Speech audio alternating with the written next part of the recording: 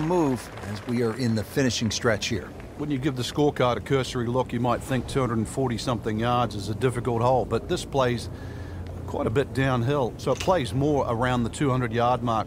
A fairly generous green, uh, protected by the bunker.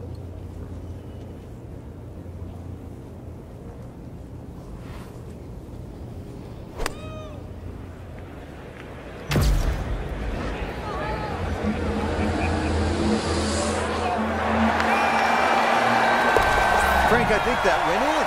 It's a what? It's a hole in one. He made it.